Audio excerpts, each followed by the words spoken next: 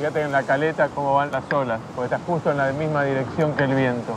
Y estas ráfagas tan, tan fuertes, debe haber 25 o 30 nudos por lo menos, así que es tal cual lo que estaba en el pronóstico.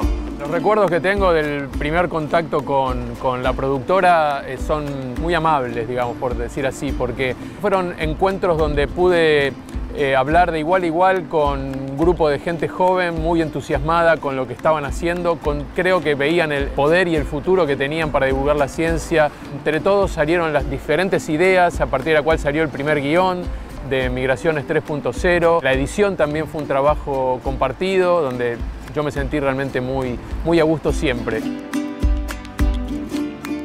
El trabajo con CONICET documental para cualquier investigador de CONICET que, que, hace divulgación científica con otras productoras privadas y demás es completamente diferente. En mi caso, digamos, yo sentí siempre que estaba trabajando con mi familia, digamos, con, con mis amigos. Todos teníamos el mismo objetivo, el mismo ideal las eh, herramientas tecnológicas que nosotros usamos para hacer investigación fueron claves para que CONICET pueda difundir el trabajo científico que muchas veces se cree que aquí en Argentina no se hace. En el caso de Migraciones 3.0, creo que eso fue lo que impactó en la audiencia.